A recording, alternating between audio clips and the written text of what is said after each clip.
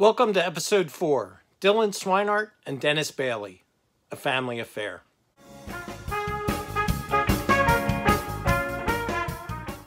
This episode centers around a grandfather and grandson duo that race primarily at the high banks of Grandview Speedway. Dylan, as you may know, races weekly for his grandfather Dennis while competing against his other grandfather Ray and other family members. They are currently running in the modified division at Grandview and took some time this past week to join me for 10 questions and a slot car time trial. Dylan is a dirt star to me for not only his success on the track, but for the way he has worked in the family business during his 15 year career. Dennis is a dirt star for me because of his track championships at Dorney Park, Big Diamond, and Grandview, in addition to his love of racing that has had him involved in the sport as a driver and owner for over 50 years. When you are at Grandview Speedway, look out for the number 81 of Dylan Swinehart and Dennis Bailey. Here it is Dirt Stars and Slot Cars, Episode 4 Dylan Swinehart and Dennis Bailey, a family affair. All right, thank you for uh, letting me come in and visit you guys. First question How many years have you been racing? Uh, so I've been racing since I was five, so this will be my 15th year. And I know you don't race anymore, but you're still involved. So I've been racing and going to Grandview since '78. 78. And then you, from what I understand, you used to race at Dorney Park, right? Yeah. I started out at Dorney Park, and we went to Big Diamond, and I won Okay. the championship in '78 up there at Big Diamond, and went to Grandview in '79, and uh, we won the championship in '81. Right. Yeah, I, I remember I hung out in the pits during that time frame, so I, I remember you tearing up there. Yeah. All right, so first car number and any significance to the car number? How did you pick it? Uh, so my first car number and still my car number is 38. Uh, his is 81. My other grandfather's is 33. So when I was five, I needed to pick out a number for the quarter midgets, and uh, the club was only allowed one number per driver. So uh, I took the three from my grandfather Ray, and then the eight from my grandfather here, and made 38. Okay. And how about you, Dennis? I, going back to the Reading days, Freddie Adams from Kutztown was my man. And uh, he had a number eight. And I just put a one alongside of it, and it's been that way for. Well, I was going to say, I only remember you ever being in 81. Did you ever have another number?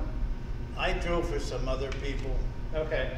a couple years, not often. Okay, because that's all I remember is Yeah. 81. My brother and me, we had 80, 80, 81. Uh, okay. Um, and then the current number.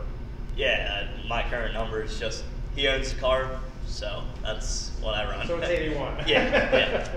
All right. Full time, part time deal? This is a full time deal. I hope. Yeah, this is my living. I'm retired now. Oh, okay. So, All right. All right. And then um, a career highlight, just one that jumps out at you. well, obviously your first win at Grandview Sportsman Division. That was one of my highest points. Uh, it was my first year entering the competition, and uh, I was going into the season. I decided that I needed to set goals for myself. So originally, I set a goal of just qualifying, and well, I was able to do that. And then we started doing good, doing top fives, and then we just uh, had a good enough car. The one week I was able to get out and win, uh, and then you got to always set the next goal right away. And so the next season we won two, I believe, and that was cool. Uh, but probably the highest point was when I was able to get into this car, uh, and racing for your family's great. We didn't know what we were going to do. Once again, you set that low goal of qualifying, and we did that the very first week. So I realized we need to set goals that we can push ourselves a little bit too. So I hit my first top five, and then I was like, wow, we actually have a shot at winning it. And then we finally picked up our first win in July, and to win on your first year, that means so much more. And that first win is definitely the highest point for me. Then he followed it up the following year, last year, and won again. So, So, it's- so it's been okay having a measured driver. so. yeah. How about you? I, I can't imagine how many races you've raced. Oh, I can't remember that. No. Okay. I uh, I had a few drivers. I had Kenny Gilmore and Willman, John Willman, one time. And my my nephew, he was driving my car, and then he had a heart attack at Grandview, and he died in, Right, in I the remember car. that. I remember that. Uh, who else? Terry Meisler. Who? Oh, Terry Meisler. That's right. For You years, had a lot of Kevin success Hartnett. with him, right? With Terry? Terry, me, we, I think he won three or four for me. Yeah. Okay. Kevin Kevin Hartnett, Hartnett. right? And Hartnett, that's right. yeah. He won a couple. He's had a lot of drivers. I. I think that's good, right? We must do all right. We're still going. That's right, that's right. Um, and, and then, you know, s- something in your career that maybe didn't go the way you thought it should have gone, but it, but you learned from it and, and made you stronger. You have something like that? I mean, just coming back every week, I feel like we're stronger from the week before. Uh, probably one of the worst moments was I was running my buddy Nico Flammer's car, uh, and our deal was I was going to run the uh, short track Super Series, and we just we were so fast right out of the gate. My very first time running his car, his first time having that car on the track, uh, I was leading with five to go. The motor broke, and it just was a struggle. We came back. Next time I drove the car, I think I got fifth or something, uh, and then we ended out the year upside down. Oh, wow. and destroying his car was, ter- I felt terrible, but we got the car back together for him uh, for Saturday night. That was on a Tuesday. That was probably the, one of the toughest things we've done is get a car completely stripped down, uh, got the front end clipped, and put it back together in less than a week. That was one of the toughest points in my career. Do you recall something that you were like, oh, I'm throwing this in, I'm not gonna do this anymore, but, but you, you did it anyway? No, not really. I, uh, I'm retired, so I do bodies and uh, make bumpers and rough rails. So I'm actually my full-time job is trying to make money for the race car. Okay, all right, well, good luck. Yeah. All right, this is my, uh, my real personal, I get really personal here. Married or single? I have a girlfriend, Lydia, so. You want Hand over to Lydia and the, the the women here. And of course, Oh, I got one. That's my wife well, now she's part owner, right? She owns half of whatever I, I Oh, whatever you see. All right, all right. I read that somewhere that she was part owner. so. She, you did go to Enduros in, in, uh, Grandview? No, I. She's a promoter. Oh, really? Oh, okay. I wasn't aware of that. No, I, I get up maybe twice a year.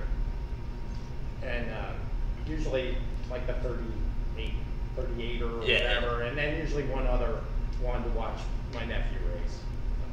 Okay, so I think this is good for the people that watch this. What kind of advice do you have? If somebody's out there and they're on the fence, you know, I, I'd like to try this, but I don't know how to go about it. What kind of advice do you have to them? Yeah, so if you're gonna do it, just know that there's gonna be way more lows than ups.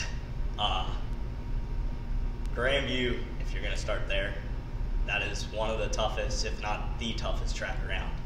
Uh, you go there every week, the track could be a little different. You could be fast one week, the next week you could be not as good, and just week to week basis, you're always scratching your head. You, we won the one week last year. The next week, we came back. We were not as good.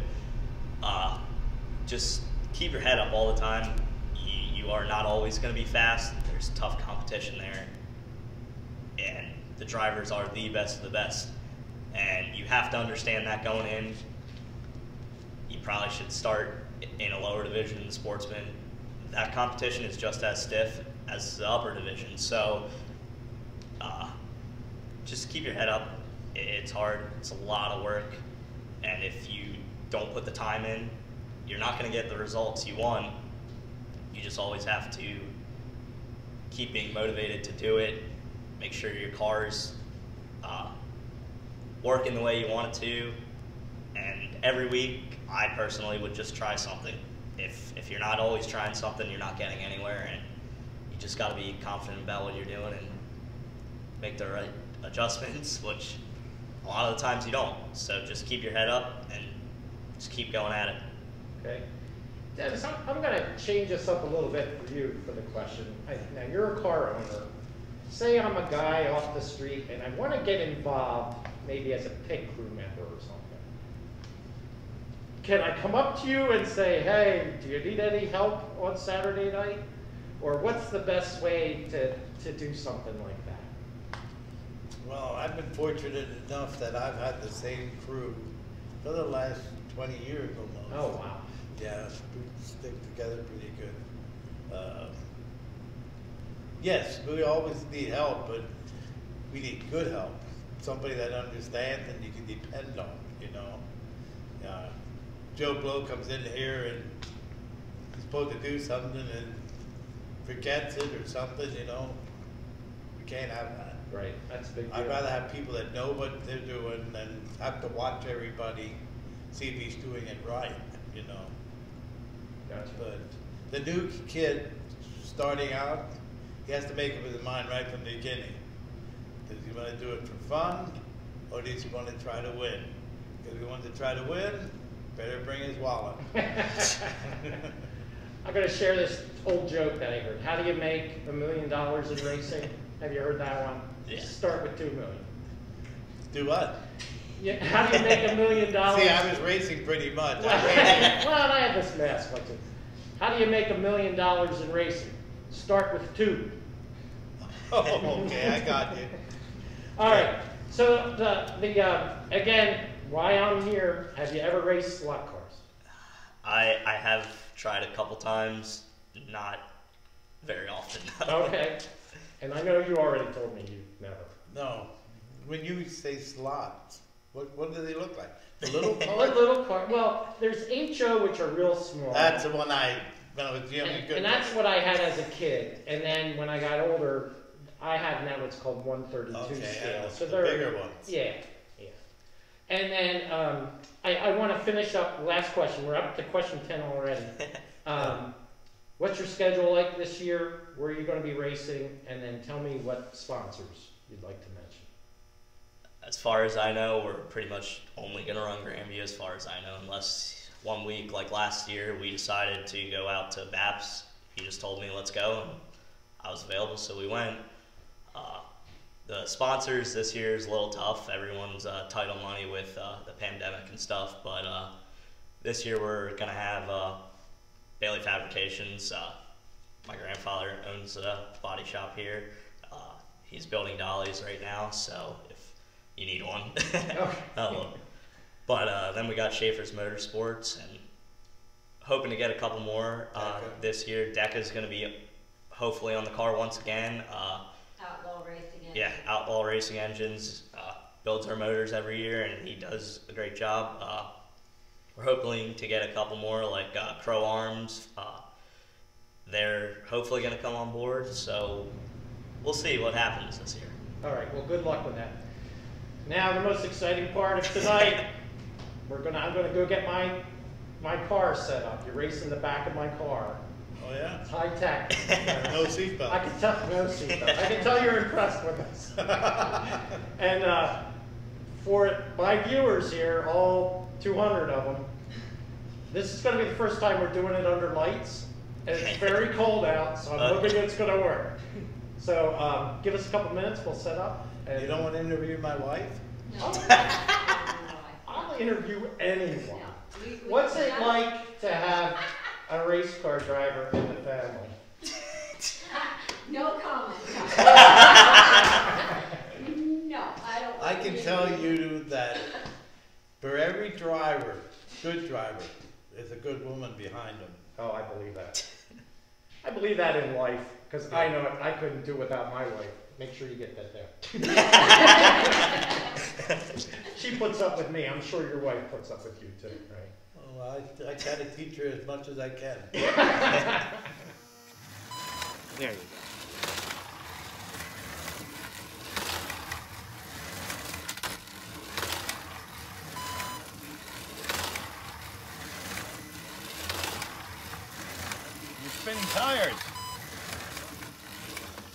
1730.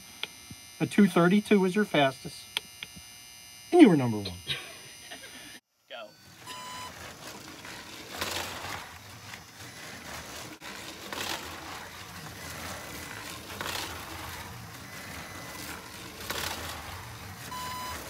Oh. All right. Oh, look at that. Rim riding. Hi, beat your didn't I? I, I don't know. All right. 1538. A 248. And you were number one. Thanks again to Dylan for inviting me to the 81 shop and the trophy room. To Dennis, and if you haven't noticed, he's quite a character, Joanne and Lydia, for making a cold February night in Kutztown a special evening for me and my crew. And as always, I'd like to thank my wife and kids for all that they do to make this show happen. Please remember to like and comment on the video and subscribe to the channel. If you are a dirt star and would like to have a crack at setting fast time, contact me and I will come to you. Please come back next time for episode 5. See you then.